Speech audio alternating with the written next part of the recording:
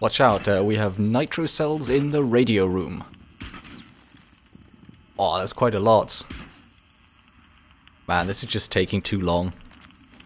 Oh, you're putting up a cluster charge? Uh, yeah. Grenade out? Well, at least I got one nitro cell. Mission success!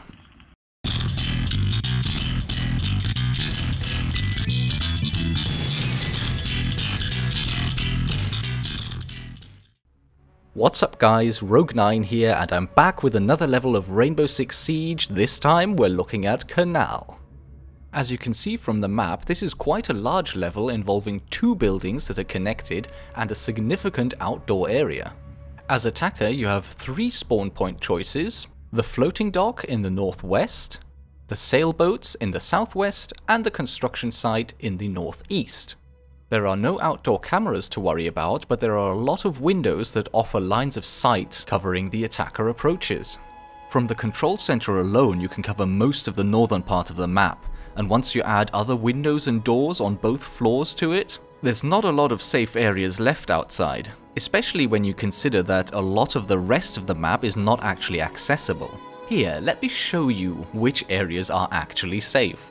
Of course, when you're playing against NPCs, this doesn't really matter unless you make a lot of noise outside, but if you're playing against a switched on human team, be ready for some trouble. And with that, let's finally take a closer look at the target buildings themselves. We'll start today on the ground floor. In this level we have two target buildings, the Coast Guard on the left or the west, and the control center on the right of the map, the east. Both buildings have very limited ground floor areas with limited access from the outside. The Coast Guard building has one door in the north and one in the south, while the control center has two doors in the garage which is open to the outside, and one door in the east. Alternatively, you can also smash your way in through the wall that is on the northern side of the Coast Guard building underneath the boat crane roof. If you are already in either of the two buildings, you can use the stairs to make your way down, or in case of the Coast Guard Center you can use the two ceiling breach points. Once you're inside the buildings you will find a CCTV camera covering the boat supplies hallway, and in case you're running low on ammo, look to the boat supplies room. And with that we're finally ready to take a closer look at what this level looks like in the game. So this is us now approaching from the northwestern spawn point, the floating docks. As with all other spawn points, you can see that this initial area is quite safe. Uh, we cannot be seen or fired upon from the enemy buildings, but as soon as we come around this corner, you can see the windows of the control center to the left, and the door of the Coast Guard building above us here could also be used as a firing point. As you can see, the boat crane area is still outdoors even though it is considered to be part of the Coast Guard building. As an attacker, you are quite vulnerable here since anyone in the control center loading dock has a clear shot at you at all times. Entering into the boat garage, you're initially quite safe if you're coming in through the doorway since you have an impenetrable wall to your left and right. Once you get into the room properly though, this becomes a different matter. You have two open doorways, both east and south, and breachable walls to the north and southeast. Next, we have the boat supplies room, which is again relatively open, with breachable walls to the south and northeast, and a central ceiling breach point. This is also the only room on the ground floor where you will find spare ammo. The leaking pipes room to the south of the boat supplies is quite unremarkable. An open doorway in the northwest and a fully breachable wall in the east are its only features. If you do run into any trouble in the boat supplies room, the metal life preserver shelves will at least offer some cover. Now let's head out into the boat supplies hallway which runs the entire length of the Coast Guard building. As you can see there is very little cover except maybe underneath the stairs. The eastern, northern and southern walls of the hallway are solid and only some walls in the west are breachable. This doorway here leads to the southern approach but is below ground level, Oh, and we have a bomber. Uh, yeah, I'm not gonna catch up, but, but whatever you do, don't lead him to me. Oh, oh no! Close one. Cover me. Reloading. Be aware that this hallway is covered by a camera that is just opposite the stairways here. The viewing angle may be fairly limited, but camera operators will be able to see the full length of the corridor. The bottom of the Coast Guard stairs can also be observed. Moving swiftly on to the showers area, we can see that this room is solid all the way around, and the only way in and out is through the doorways to the north and southwest. Both the toilet and the shower cubicles can act as ambush points. The shower's corridor is very narrow and offers no cover whatsoever. The locker bank in the center of the locker room can act as cover but do take care over the ceiling breach point in the southwest of the room. And with that, we're back in the hallway and we've come full circle. Time to check out the control center. This is the control center stairs room, which is completely solid and only accessible via this doorway to the north. Well, apart from the stairs themselves, of course. The doorway to the north leads to the loading dock, which is an open garage area that allows defenders to target any attackers underneath the boat crane, and of course anyone in the open in between the two buildings or looking out of the windows of the Coast Guard building. The concrete pillars and the white van in this room offer some limited cover. The final room on the ground floor of this building is the machine hallway. Solid walls all round and a doorway to the east and west. Simple. And with that we have the ground floor covered. Time to check out the first floor map. As you can see, breaching the first floor from the outside is quite a different matter compared to the ground floor. There are a total of 25 different doors and windows all around both buildings, and there is a breachable wall in the southern part of the Coast Guard building. If you're already inside the buildings, you can of course come up the stairs from the ground floor or down from the second floor. If you're on the second floor already, you will have the option of breaching down through the floor breach points, one above the security room, one above the projector room, and one above the kitchen. To get down to the first floor using breach points, you can use the one in the lounge to get down to the locker room, or the one in the Coast Guard office to get to the boat supplies room. Spare ammunition can be found both in the Coast Guard office and in the maps office, if you're an attacker, beware of the two cameras, one in the Coast Guard hallway and one in the Maps office hallway. As always, I'll be showing you a view of these as we pass them in the game. And with that, let's go! First up, let's check out the holding room. Brick pillars and metal shelves offer some cover in this room, but be aware that almost all of the inner walls of the room are fully breachable.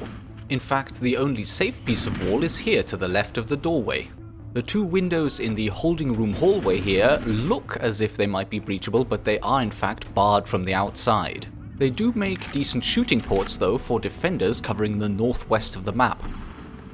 To the south of the holding room is the Coast Guard radio room, and what better way to get there than straight through the wall. Breaching charges up. Ready? Breaching! Wow, I managed to get a kill assist and hit my buddy three times. Now that takes some skill. The radio room has a window to the west and solid walls apart from the one to the north. There's a window going through to the Coast Guard office and the doorway will actually get you there as well. The Coast Guard office is a relatively large room with two windows to the west, a breachable wall in the north and east which lead to the hallway, and a breachable wall to the south going into the archives. Furthermore, there are also doorways leading south and east. Right ahead of us here is the floor breach point leading down to the boat supplies. Be aware that while the metal desks offer some hard cover, the cork dividers above them do not. You can hide behind them, but the enemy will still be able to shoot you. If you're running low on ammo, this room will also be the place where you can fill up. To the south of the office are the archives. To reach these, you can either use the doorway or the breachable wall. The room is basically just a fairly short corridor, with solid walls apart from the one exception, and a window facing south. The cabinets along the walls offer only minor cover. To the east, we have the main entrance area with a counter that provides chest-high cover. The room has a large double door to the south and a window in the east. Be aware that the doorway to the north here is covered by a metal detector so that when you move through it will set off an alarm. Rather than triggering this alarm, you might prefer to breach through the northern wall or head through the archives instead. Back in the office, we'll now explore the Coast Guard hallway. The western side of the corridor can be breached at several points while the eastern side is solid. And apart from that, there's, there's not really much to say, it connects the rooms. The lounge is far more interesting. A small room, solid walls all round, two windows facing east. Plus, you have the floor breach point leading down into the lockers area. Here, a quick view at the staircase, and jump cut back to the hallway. This corner right here is where you'll find one of the cameras. From here you can survey the entire Coast Guard hallway including the stairs and the bridge all the way across into the model room. And with that, it's time to head over to the control center. The two buildings are conveniently connected by a bridge which has two breachable windows both north and south. Since you are in a narrow corridor though with no cover, it can be risky crossing the bridge. The first room you come to once you cross the bridge is the model room, named after the beautifully detailed model of the buildings in the center of the room. Apart from this model case, the room is quite unremarkable, with solid walls all round and two windows facing south. Continuing onwards, you will come to the maps office hallway and the control center stairs. This is once again where you will find one of the CCTV cameras covering the hallway and the stairs. This section of the hallway has two wall breaches in the north and a doorway in between. If you run into any uh, resistance getting into the maps room from here, an alternative way can be through the security room. The security room is wide open with breachable walls to the north and one breachable wall to the south in this corner that can allow you to blow your way all the way through from the corridor to the maps office or the projector room in the north. That is, unless the enemies have fortified the walls. A single window in the west offers access to the security room from the outside and it also has a ceiling breach point. If storming straight into the Maps office is still not an option, you can try going through the Maps archive instead. This small hub room has breachable walls to the north, east and south, plus a doorway west into the Maps room. Take care of the wooden floor in these areas though, since it can make you vulnerable to fire from below. Now we're quickly passing through the Maps office here, but let me show you the projector room first. This room in the northwest of the building has two windows facing west, and a breachable wall in the south. Also take note of the ceiling breach point above us right now. Back in the maps room you will notice the two breachable walls in the south of the room and the one in the southeast heading through to the kitchen. This room can be entered from the outside of the building through a single window in the northeastern corner. A large metal desk in the center of the room provides some limited cover, as long as you duck of course, and if required you can also stock up on ammo here. Apart from the breachable wall, the kitchen has two windows and a ceiling breach point. The kitchen is directly connected to the cafeteria and we'll come back in a second. First, the plant's hallway. Apart from an unusual name, this hallway has doorways facing north and south and a window in the south. Back to the cafeteria and you may have noticed that it looks as if there is a window on the eastern wall. This is in fact blocked from the outside. The western wall ahead from me now is fully breachable and leads through to the maps archive. And this completes our tour of the first floor. On to the second. The second floor of the Coast Guard building is mainly the roof and you have access to the second floor of the control center by crossing over the roof of the bridge. To enter from the outside you have a choice of 10 doors and windows, and there's also a breachable wall on the southern side of the control center. As before, you will be able to make your way up from the floor below using the two staircases. Even though the barricades on the control center windows can be completely destroyed, these windows are marked as semi-breachable since you cannot pass through them. The lack of roof anchor points in this section means that you can neither abseil down from these windows or get up to them. Since this is the topmost floor, there are no ceiling breach points, but there are three different floor breaches in the control center. The one in the server room leads down to the kitchen, the one in the northern part of the control room leads down to the projector room, and the one in the southern part of the control room leads down to the security room. Ammunition can be found in the control room, and defending teams will have access to a CCTV camera in the control room hallway. And with that, let's check this floor out in the game. Eliminate the terrorists. Starting from the construction site in the east of the map, you can see that as soon as we come up this bank, the control center has an open field of fire on us.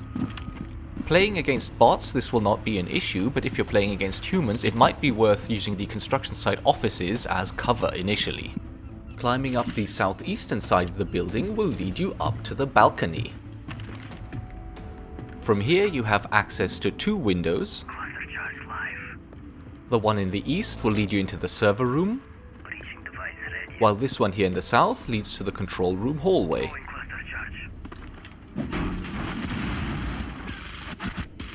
If you're not in any particular hurry, you can use the drone access port just to the right and below the window to scout out the hallway before breaching in. The control room hallway itself is very simple. A straight corridor with solid walls and two doors leading north, one leading west. I can hear trouble. Here, why don't you chew on this, guys? Whoa! Boom! Okay then, it seems as if the coast is clear, time to move on. Heading through the doorway to our north will bring us to the server room. The server room is relatively large and open with only a couple of server banks in the center. To the west here you'll have a breachable wall leading through to the control room. And there are two windows to the north and one doorway in the east. As mentioned before, there is a floor breach point right here, which will lead down into the kitchen. The doorway in the northwestern corner of this room leads into the electric room. This small room offers zero cover and has breachable walls running all the way down the western side. You can choose to come through either into the northern part of the control room or the southern part. The control room is a large room that can be considered as having three separate parts. The central part we are in right now has two desks that can offer cover, and depending on your game mode, this is also where you will find the ammunition. There are two windows leading to the outside facing west. The two breachable walls in the east we've already discovered. Oh no, he's closer, that was the wrong move. and my grenade still killed a guy. Oh well, I guess I guess all's well that ends well. Time to check out the northern part of the room. This floor breach point here leads down into the projector room. The central feature to this room is the console bank that you can see ahead of us just now. This offers both cover and concealment, so be aware of enemies lurking behind. As I mentioned right in the beginning of the video, the large windows of the control room offer great sightlines for defenders, from here you can target attackers approaching from the construction site in the northeast and the floating docks in the northwest almost as soon as they start moving towards you. It's worth being cautious as a defender though since snipers on the attacking team also have a clear line of sight to you. The southern part of the control center is almost a room all to itself. Still under construction, both the southern and eastern wall are made of wood and fully breachable. Here, let me show you what I mean. The breachable room to the east leads to a small room called the third floor exit, which then leads on to the corridor. It is in this corner where you will also find the last CCTV camera. This will allow you to view the entire corridor plus the middle part of the stairway. The third floor exit itself is quite unremarkable, a small room with a solid wall in the north and east, and a doorway to the south, and a soft wall in the west. Back in the control room, the floor breach point will lead down into the security room, while the southern wall can be blown up to reach an area of the roof known as the roof brick pile. Even though the brick pile is only made up of cinder blocks, this will provide you both sight and solid cover. The roof brick pile area includes the roof of the bridge, and this gives you access to the Coast Guard roof. But of course this is not the only way you can get here. You can climb up the walls around the entire building, or you can make your way up the Coast Guard stairs. At the top here you will find a doorway and a window. And with that, our tour of the Kanal level is complete. Please be aware that while the maps used in this video are based on the ones released by Ubisoft, I have made some significant changes both for accuracy and detail. If you fancy studying these maps in your own time, there will as always be a download link in the description below. I have quite a few more Rainbow Six videos in the pipeline. Like and subscribe to stay up to date with my most recent releases.